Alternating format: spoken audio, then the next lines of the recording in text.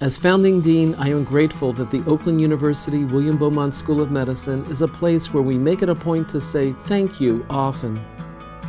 As we approach the Thanksgiving holiday, let me share with you some of the many things for which we at OUWB give thanks. We are grateful for gifted students who inspire us with their academic talent and their generous expressions of empathy and altruism. We're grateful for students who study for their future patients and not just to pass examinations. We give thanks for our faculty members who go far beyond the mission of teaching medicine to serve as exceptional role models. We give thanks to the more than 500 parents from more than 300 families of our medical students who support their students in partnership with the School of Medicine.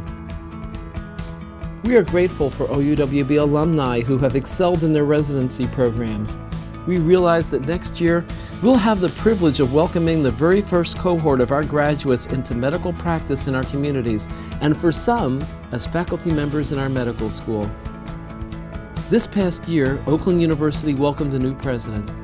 She is an esteemed pediatric endocrinologist, researcher, and healthcare administrator, Dr. Ora Hirsch Pescovitz, and we are grateful for her presence and for becoming a member of the OUWB faculty. We give thanks for our partnership with Beaumont, Michigan's largest healthcare provider. We are grateful for the opportunity to partner with Oakland University's School of Nursing in Beaumont's Moonshot 2022. This is an initiative to become the nation's foremost healthcare system in delivering patient and family-centered care. We remember always that OUWB is a community serving its community we therefore extend thanks to our nearly 60 community-based partners for allowing us to improve access to healthcare. We are also grateful to our community partners for giving us the opportunity to show children from economically distressed areas that they too can aspire to become physicians.